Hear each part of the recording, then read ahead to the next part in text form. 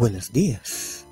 La revista Nayel presenta el versículo del día de hoy, 27 de enero. Bienaventurado todo aquel que teme a Jehová, que anda en sus caminos. Cuando comieres el trabajo de tus manos, bienaventurado serás y te irá bien. Salmos 128, versículos 1 y 2. Y este ha sido el versículo del día de hoy. Gracias por sintonizar nuestro canal.